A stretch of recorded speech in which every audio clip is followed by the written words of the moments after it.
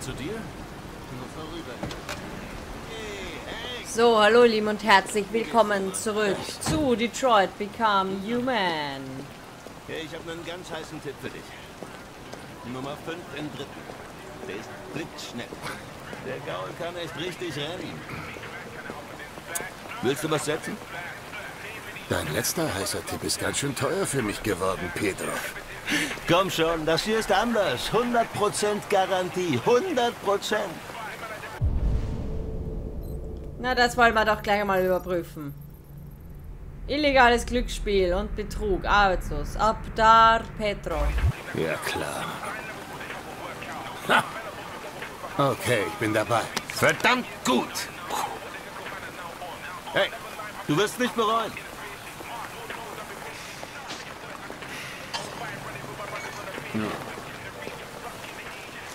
Was ist dein Problem? Kannst du nicht tun, was man dir sagt? Du kannst mir nicht hinterherrennen wie ein Hund. Oh.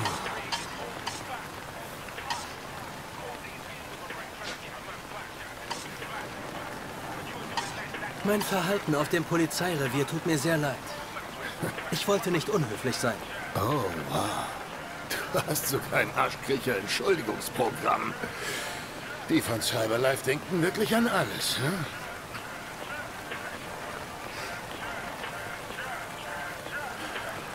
Bitte sehr.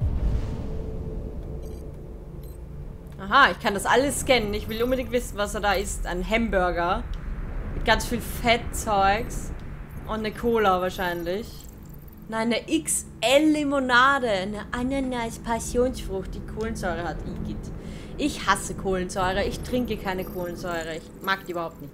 Case Gary, Geschäftsinhaber. Wie Vorstrafen, Widerstand gegen Festnahme, Verstoß gegen Hygieneverordnung. Ah, danke, Gary. Ich verhungere. Vergiss das Ding nicht. Keine Chance. Der folgt mir überall hin. Klar. Siehst du?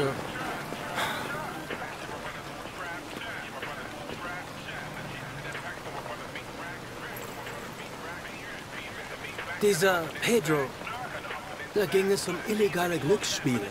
Habe ich recht? Ja, Und Sie haben gewettet. Ja. ja. Das verstehe ich nicht. Ihr Essen enthält die 1,4-fache Menge Ihres täglichen Kalorienbedarfs. Und doppelt so viel Cholesterin. Das ist nicht gut für Sie. Irgendwann sterben wir alle mal.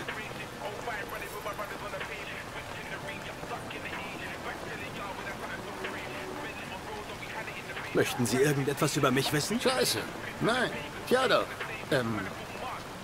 Warum siehst du so dämlich aus und klingst wie der letzte Arsch? Das ist meine Programmierung. Cyberlife-Androiden sollen harmonische Beziehungen herstellen. Mein Äußeres und meine Stimme sind darauf ausgerichtet, meine Integration zu erleichtern. Tja, war wohl nichts. Ey. Ich habe eine persönliche Frage, Lieutenant. Warum hassen Sie Androiden so sehr? Ich habe meine Gründe. Okay. Möchten Sie erfahren, was wir über Abweichler wissen? Aber sicher doch. Weiter. Wir vermuten eine Art Mutation in der Software einiger Androiden, die zur Nachahmung menschlicher Emotionen führt. Klartext, bitte. Sie können nicht wirklich fühlen, sondern erhalten irrationale Anweisungen, die unberechenbares Verhalten auslösen. Emotionen machen nichts als Ärger. Die Androiden ähneln uns doch mehr als gedacht. Hm. Schon mal mit Abweichlern zu tun gehabt?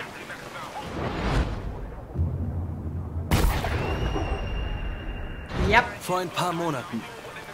Ein Abweichler wollte mit einem kleinen Mädchen vom Dach springen. Aber ich konnte sie retten. Oh, du hast bestimmt deine Hausaufgaben gemacht. Und hast jetzt alles über mich rausgefunden. Ich weiß, dass Ihr Abschluss exzellent war. Sie haben viele Fälle hervorragend gelöst und wurden der jüngste Lieutenant in Detroit. Ich weiß auch, dass Sie in den letzten Jahren häufig abgemahnt wurden und Sie verbringen viel Zeit in Bars. Und was schließt du daraus?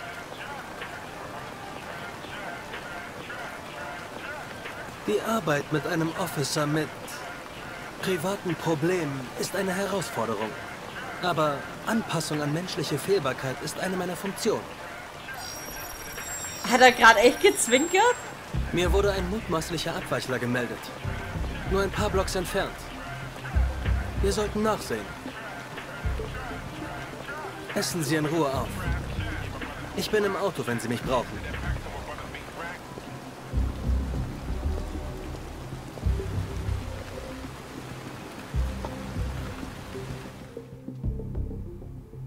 Hat ihm gerade echt zugezwinkert.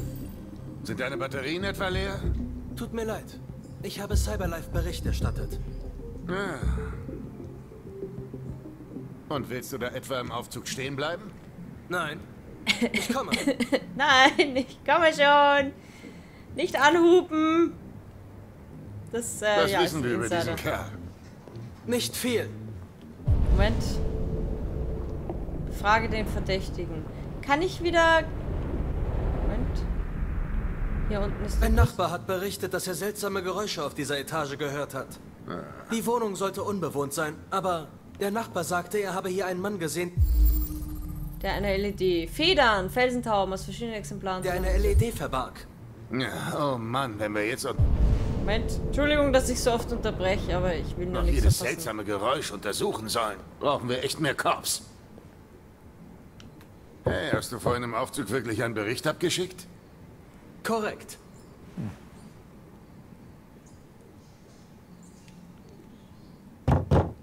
Ist jemand zu Hause? Aufmachen, Detroit Police! Ja, ich kann auch schreien. Bleib hinter mir. Verstanden.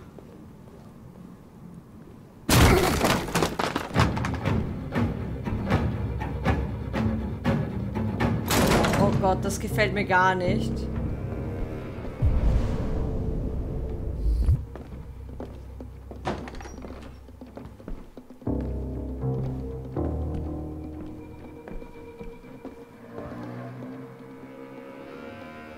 Ja. Hier. Was zur Hölle ist das denn? Untersuche das Apartment, okay? Ah, Scheiße, wie das hier stinkt.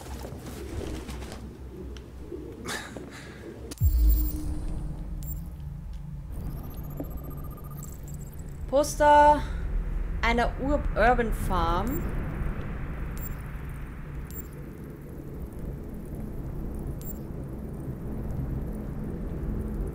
Ja, da, hallo? Hallo, wo, wo bist du? Hinweis Nummer zwei. Wo bist du? Hallo? Äh, Entschuldigung. Ah, hier. Posterecke kürzlich bewegt. Okay. Tja, wir sind umsonst gekommen. Unser Mann ist weg. Warte mal ganz. Ah, muss ich das jetzt machen? Ich wollte das ganze Apartment noch durchsuchen.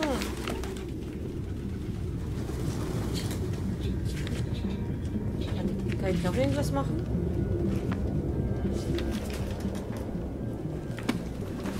Was gefunden? Ich weiß nicht. Okay, warte. Wohl eine Art Notizbuch, aber es ist nicht entzifferbar.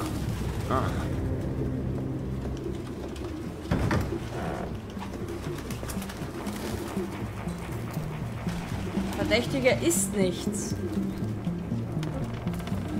Komm, nur weil der Kühlschrank leer ist?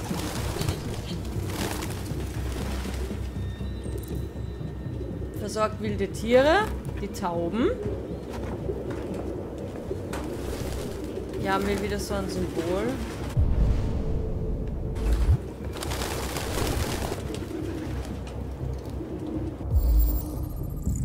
Militärjacke, Sekretär, Initialen RT.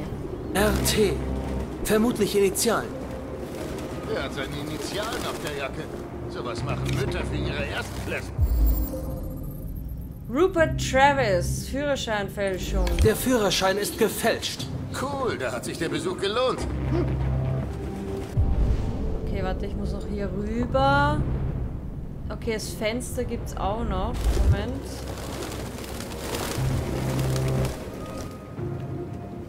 RA9 schon wieder.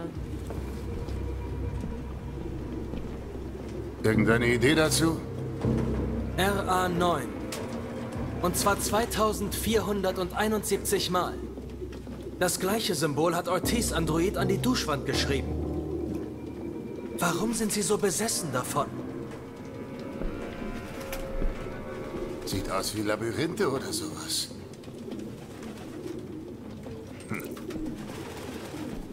Zwanghaftes Schreiben.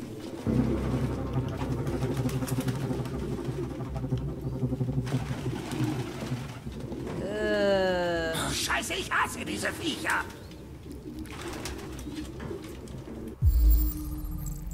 blaues Blut. Modell WB200. Wird vermisst gemeldet.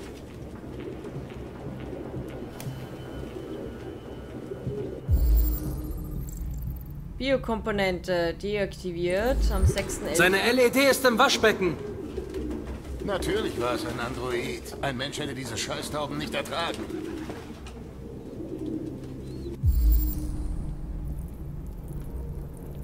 Ich sehe gerade wenig. Holzhocker, kürzlich umgestoßen. Spuren von Vogelkäfigen oder Vogelfäkalien, das weiß ich gerade nicht. Moment, hier? Nein? Okay. Aber hier. Geöffneter Textmarke, noch feucht, kürzlich benutzt.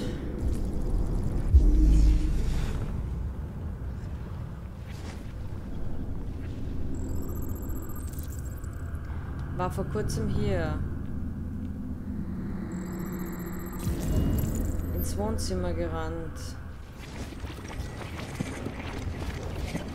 Okay, er hat also hier geschrieben. Hat sich dann erschreckt, ist umgefallen und ins Wohnzimmer gerannt. Okay.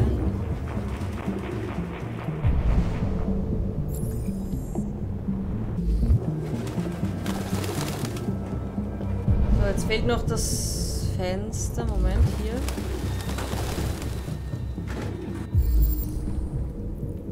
Drei Hinweise. Metallhaken, kürzlich zerbrochen, rostfreier Stahl. Spuren sind frisch, Spuren von verzinktem Stahl. Und Handabdrücke. Handabdruck frisch, Spuren von Vogelfäkalien, kleine Fingerabdrücke.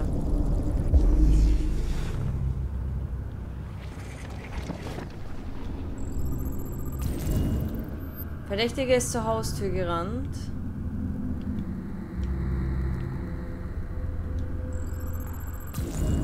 Hat gehört, wie wir reingekommen sind.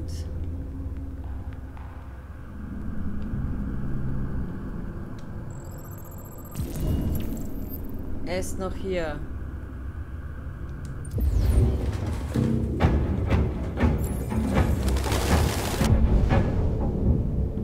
Aber das Fenster. Ich habe doch noch irgendwas beim Fenster machen können.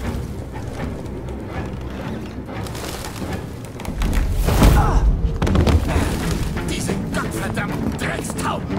Worauf wartest du noch? Hinterher! Hinterher!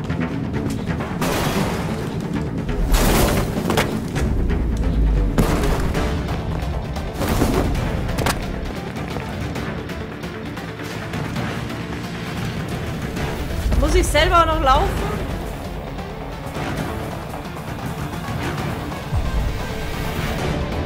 Einfach aber langsam, schnell aber riskant. Ausgewogen.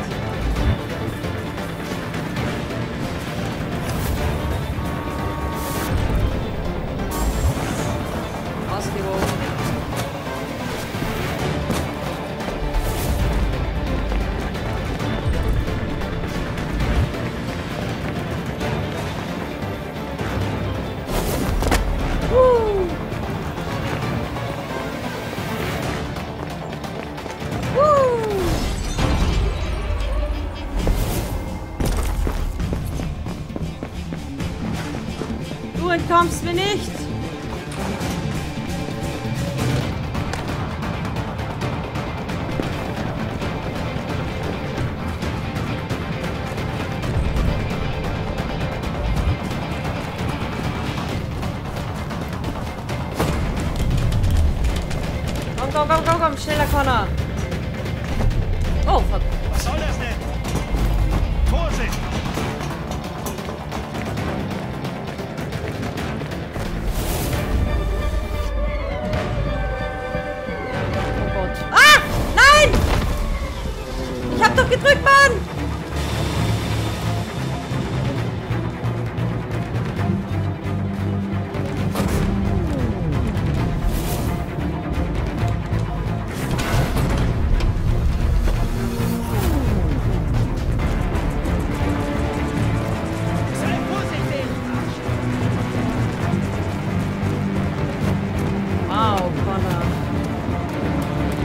Begeistert von ihm.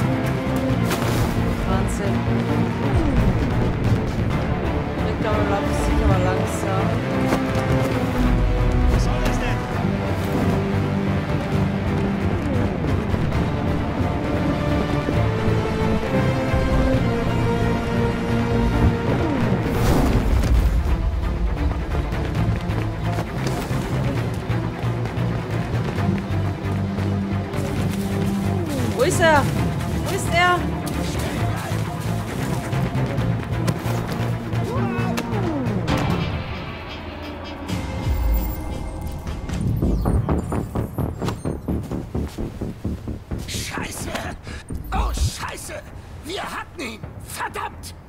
Meine Schuld. Ich war zu langsam. Du hast ihn wegen mir nicht erwischt. Ja, Entschuldigung, aber Hank, die kann ich doch nicht Ist lassen. gut. Wir wissen, wie er aussieht. Wir finden ihn. Ich hoffe nur, Connor kriegt keinen kurzen deswegen jetzt. Hey, Connor. Nichts. Danke. Ich mag Connor. Er ist so stark und so männlich. Ah. Rupert ist entkommen. Ah, schade. Hank gerettet. Wir haben Rupert eingeholt, immerhin. Rupert schubst Hank. Aber wir haben das Tagebuch gefunden. Was? Achso, Hank anschließen. Eieiei. oh, Marcus.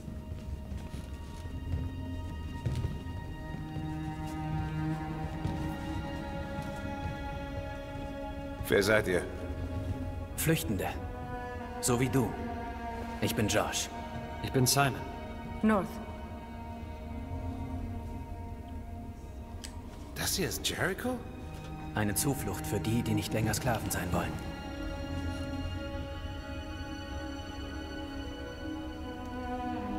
Sich verstecken nur um zu überleben? Das ist Freiheit für dich? Menschen hassen uns. Wir können nur im Verborgenen überleben. Für solche wie uns gibt es keinen sicheren Ort. Wenn Menschen uns entdecken, töten sie uns. Wie viele seid ihr? 19 von uns sind noch funktionstüchtig. Die anderen wurden auf ihrer Flucht beschädigt. Viele wollen hier nach Jericho. Wenige schaffen es. Die Menschen haben wenig Mitleid mit uns. Ich verstehe, wie du dich fühlst. Aber hier herrscht mehr Freiheit, als du je hattest. Ich kam nach Jericho auf der Suche nach Hoffnung. Aber sie hat wohl auch diesen Ort verlassen. Du bist verwirrt. So wie der Rest von uns. Wir wollten das alles nicht. Wir müssen jetzt aber damit klarkommen. Du bist hier sicher. Du kannst bei uns bleiben, solange du möchtest. Sprich mit Lucy. Sie kann dir vielleicht helfen. Mit dir will ich definitiv nichts anfangen.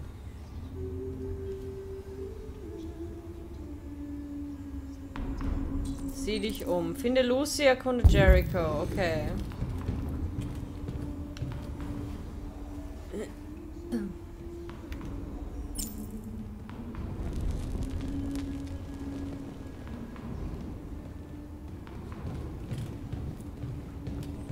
Ich denke mir gerade, warum entfache ich ein Feuer? Androiden brauchen doch, also Androiden frieren doch nicht. Warum stellen die sich dann ums Feuer?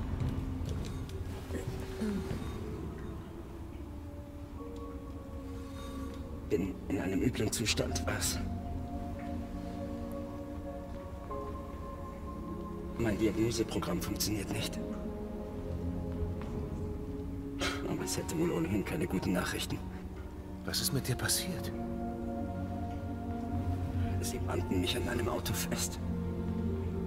Sie wollten wohl ihren Spaß haben. Ich will mich nicht abschalten. Nein, ich... Ich will mich nicht abschalten. Eieieiei. Menschen sind so grausam und wir sind so hochnäsig, weil wir denken, wir stehen über allen Dingen. Aber das tun wir nicht. Ich hörte, Menschen fürchten sich auch vor dem Tod. Weißt du, was danach mit uns passiert? Nein. Nein, leider nicht. Tja, ich werde es bald wissen. Wie heißt du? Marcus.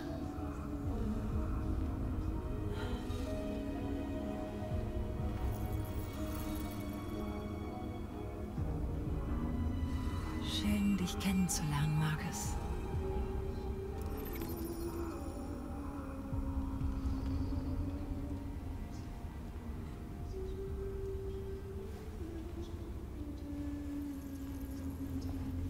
Oh mein Gott, ist jetzt...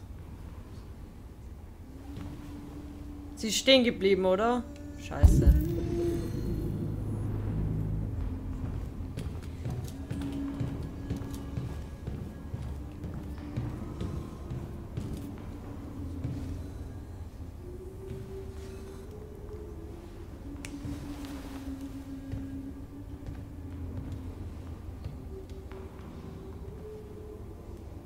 Haben ihn weggejagt, als sie ihn nicht mehr haben wollten. Er hat auf der Straße gelebt, bis wir ihn herbrachten. Sie werden sich alle abschalten, wenn wir ihnen nicht irgendwie helfen. Sie brauchen dringend blaues Blut und Biokomponenten. Wir schlachten alle aus, die sich abschalten. Aber das reicht einfach nicht. Und wie überleben sie? Tun sie nicht. Wir sterben langsam aus.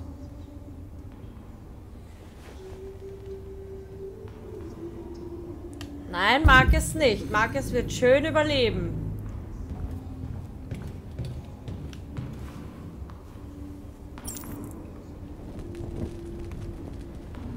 Voll, voll schön. Voll, voll schön. Voll gut.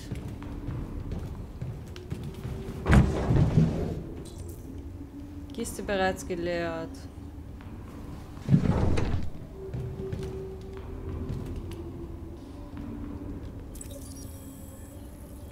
Cyberlife-Kiste. Lager und Docks West Orange Avenue, Detroit, Michigan.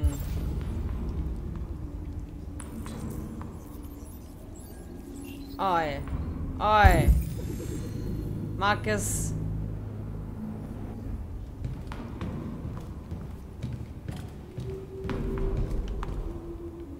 Komm, wir machen noch ein Feu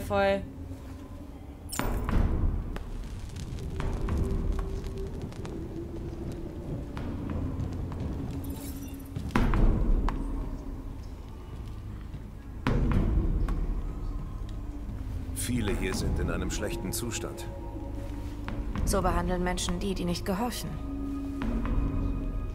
Sie verachten uns. Ich Sie ich wette, sie war, sie ist ein Sexroboter gewesen. So, was sie da anhat. Alle hier brauchen Ersatzteile und blaues Blut. Warum hat das noch niemand besorgt?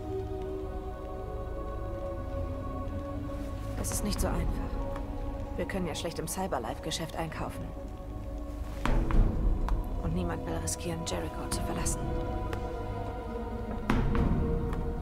Was ist früher deine Funktion gewesen? Das ist doch egal. Yep. Sexroboter. Sexandroid. Wenn du Geborgenheit suchst, bist du hier am falschen Ort.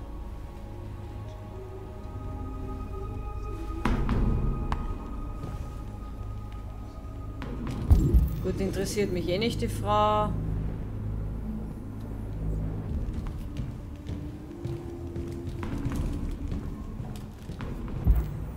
Da kann ich noch ein Feuer entfachen.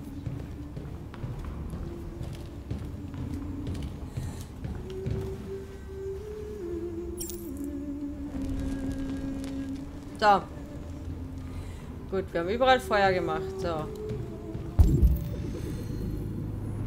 Muss ich nur noch Lucy finden. Bist du das? Die hier so singt? Oh. Bist du Lucy? Schwarze Augen. Ah! Setz dich.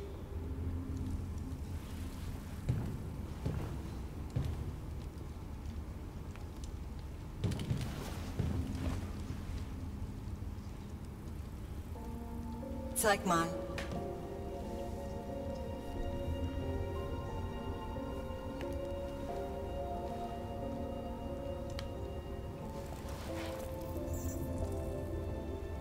Ich stoppe die Blutung.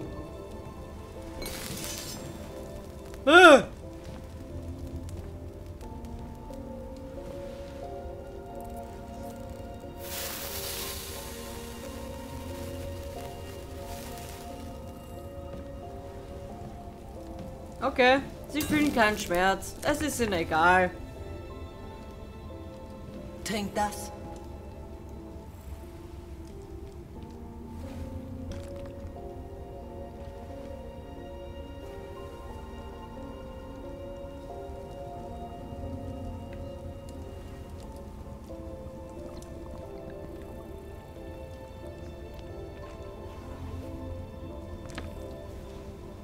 Blaues Blut?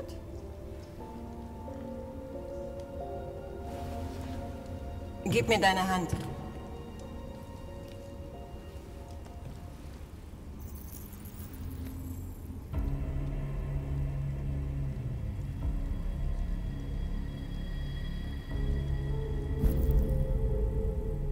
Oh oh.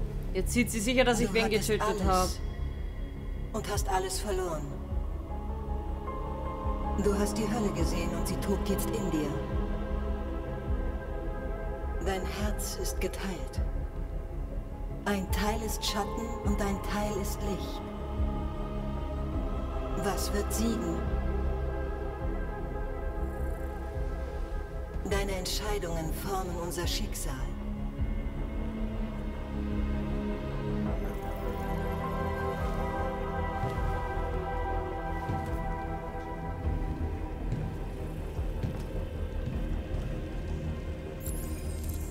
Unterbreite Simon einen Plan.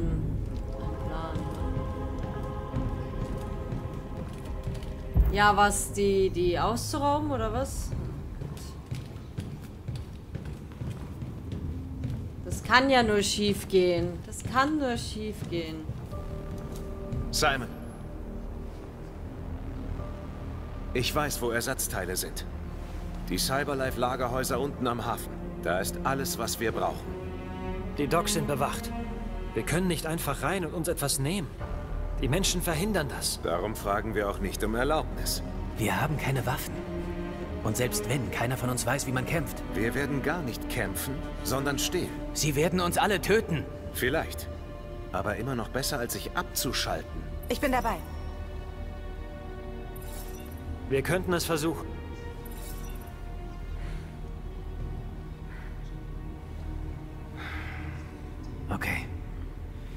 Dabei. Yay. Zeit zu entscheiden. Alright. Was haben wir denn hier? Jericho, reden, reden, reden, reden, reden, es werde Licht, Lucy reden, leere Kiste untersuchen, mit seinem Reden und den Plan aushacken. Okay, meine Lieben, ich würde sagen, wir beenden den Part hier. Ich hoffe sehr, es hat euch gefallen. Ich liebe dieses Spiel immer noch und ich mag Connor und ich mag Marcus. Ich mag aber auch Kara und ich bin sehr gespannt, wie es mit Kara dann noch später weitergehen wird. Wir sehen uns wie immer beim nächsten Mal. Vielen Dank fürs Zusehen. Macht es gut. Ciao.